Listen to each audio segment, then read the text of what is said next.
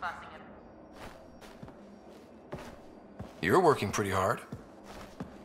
All the time. Started young. Smart little kid. Got angry a lot. Side effect of giving a shit. Liam, what's going on? We found that facility on Voeld. Kicked them in the teeth. Great.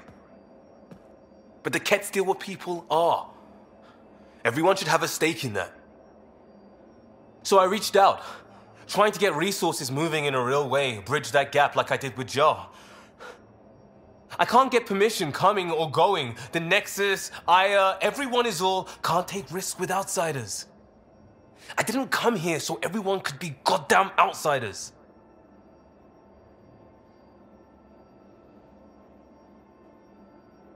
You're taking on a lot, making all of Heleus your problem. It is our problem. We're not going back. We have to make it work. I wanted this.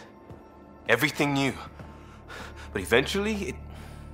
it has to be normal. I need something familiar. Can I show you something? Did you bring anything from the Milky Way? One or two things, but the weight limits were real strict. I know. That's why I made arrangements. it's a proper petrol burner. 20th century. British. From when that mattered.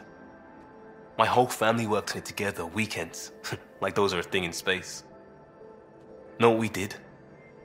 Friends and Hustle set us up good.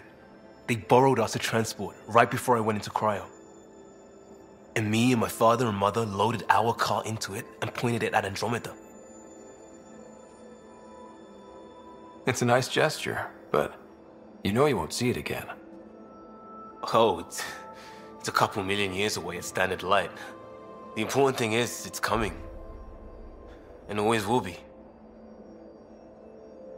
I don't know what that means. It means your family, the Angara, this team. We're all lucky you care so much. I'll probably screw it up, Pathfinder. Join the club.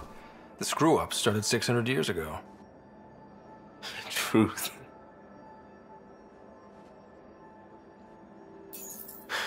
This will be home. It has to be. I won't let being outsiders stop that.